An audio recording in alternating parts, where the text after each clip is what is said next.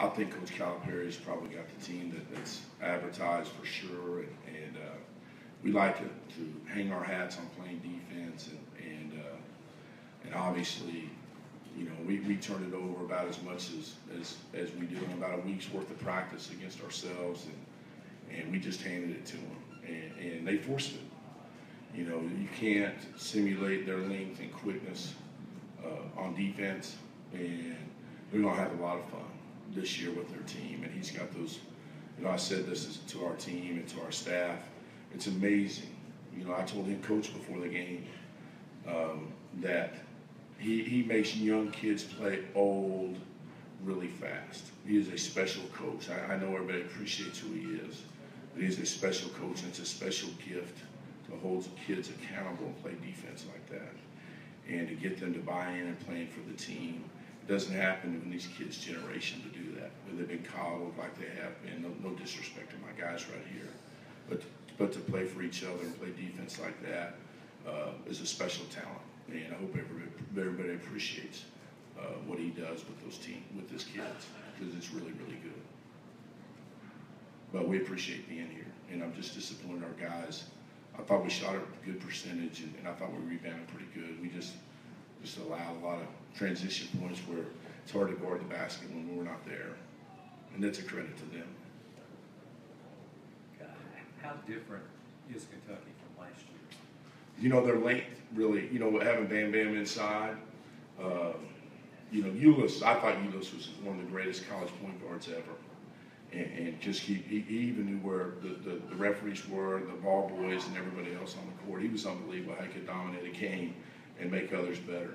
But I think De'Aaron uh, uh, and Monk with their speed and quickness and athleticism. I told Briscoe during the game, I said, dude, you've gotten so much better. Because you, you can guard Briscoe in the paint with your arms behind your back, and you can't do that anymore. But those three cats on the perimeter, ooh, you know, you got to guard them. And, and, and you know, they're just really, really good. I mean, those those three guys on the perimeter. And then Willis is a perfect stretch four for their team. And then Humphries has gotten better, and, and Bam Bam inside. And I mean, they just keep, you know, and, and the uh, the other kid, uh, well, I don't know very well at all, but uh, uh, I mean, Hawkins has 10 and a half. Uh, not Hawkins, but, but uh, Gabriel has 10 and a half. And, and who do you, we don't have anybody guard. Leon's our best chance to guard him. And, and he's going back and forth between Coach Cal is toying with us. Him and, and Willis both have 20.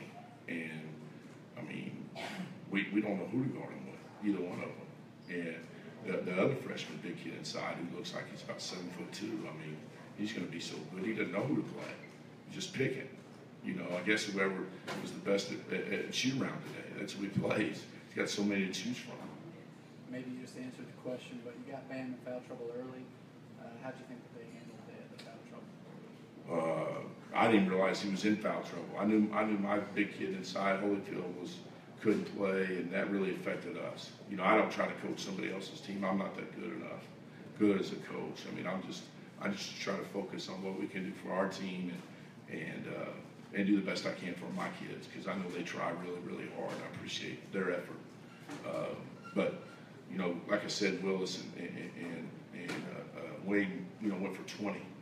And obviously, we didn't do a good job with, with, with Bam not being in the game because for us, speed and quickness is, is our is, is the only advantage that we might even think about having inside. And you know, obviously, we weren't very successful there. Kyle, how do you explain uh, how you guys held your own on the boards, especially on the offensive? Well, we missed a lot of shots here. I mean, we just, you know, and with these guys right here, I mean, you know, Leon is, is, is a superior athlete, speed and quickness, and you know, we're playing what, most people would say the four, but I mean, he's just a big guard, really. But he's got some toughness about him, and he's hard to block out on the perimeter when he starts running in there. I mean, I, I think you know, he had double double tonight, and I expect that out of him. You know, from the perimeter. And, and if we could just get a shot up, we were okay on offense. It's just the 30 times or whatever we, we handed it to him and decided to drive it when there was nobody there. Those those 30 possessions during the game, you know, we weren't very good. If we could just take those out, you know, I play again. But unfortunately, those are part of the game, and uh, you know we can't. And we just went a little. You know, they make you play one on one. Their speed and quickness shrinks that quick court I'm standing out there. I'm, you know, I've been out here a few times. I've never seen that court look so small as it did today. Whew. That thing, I don't know if it's 94 feet by 50 or whatever it is. That thing looked about 64 by about 20. And I don't know if it's because I was for, I'm fortunate enough to move over about 32 inches in seats, but I've never seen that court look so small as it did tonight. As long as, as those jokers were. Anything else? Anything for players? You got something for these guys? I thought these guys played really hard, just so you guys know. For for a brand new team with bringing nine guys that never played Division One basketball, trying to fit them in together. I thought Dallas playing a new position as a seniors, won 90 games first three years or whatever. Leon is taking a new role. I thought our kids really tried hard, and um, I'm pretty proud of them coming in this kind of environment. Me throwing them in there, doing them no favors. I thought they did pretty good. We got a long ways to go. Did either player talk about just what the atmosphere was like to play in, what it was like out there? Oh, I thought the atmosphere was pretty great. You know, this is our first time, first game of the season, you know, in Kentucky. But I mean, we were all prepared we just felt good about it. We were confident. I don't think anyone on our team was nervous. We were ready to play, and it, it was just a fun time. You know, coach told us to just go out there, play hard, and, and enjoy the moment while we were here. know, just uh, add on to what Leon said. It was, it's a great environment. Rupp Arena's it's a beautiful arena. Fans are, are great here at Kentucky. They show a lot of support, a lot of love for their for their uh, the team, and their players. So it's, it was it was a really good environment. Um, like I said, first game of the year, a lot of new guys. So we just had to, we just had to embrace it, enjoy the moment. That's what we wanted to do is go out here and have fun. That's why we play this game. We play this game to have fun. And if you're not playing to have fun, there's no reason for us to be playing. Coach Keller, Coach Keller, right here. Yes, sir. Um, where do you think your team is and how difficult is it to uh, be in a position to have fit in No, I, honestly, I, I don't know where we are. Uh, you know, every day is a new day for us. I mean, we, you know, we went from having eight suit out in our in our exhibition game the other night to I looked down there, gosh almighty, there was a, a bunch of dudes who, who we've never even had practice. You know, Ty Charles, who uh, has practiced like three days in the last six weeks, who's our leading returning scorer, and, and I just put him out there. And I told the team in the locker room, I said, "Hey, you give us confidence."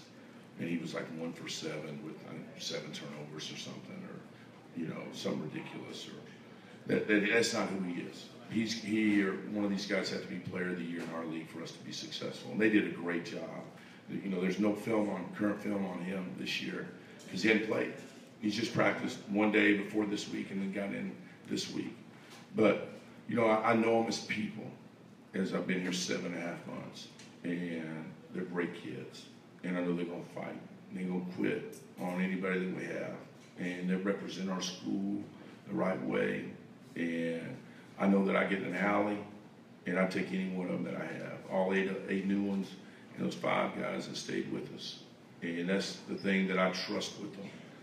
And I believe when we get to the first of the year and we start our league play, we're going to look back on this game right here. We're going to draw from it. And because I don't think that we're going to have a De'Aaron Fox out there on that point. What do you think, Dallas? Dallas tried, Dallas tried to tell me he was that there was a guy in our league that was that was as good as De'Aaron Fox, and I just let him go. I want him to think that. You still think that, Dallas? Are you sure? No. Jalen West is No, he didn't. Yeah, but but I'll let him go because I want him to be confident. I want our guys to be confident um, because that's how they get good, and we're gonna gain a lot of confidence from this. Even though we didn't play our, our best, but Kentucky had so much to do with that, and we're gonna be good from it. Thank you. Thanks.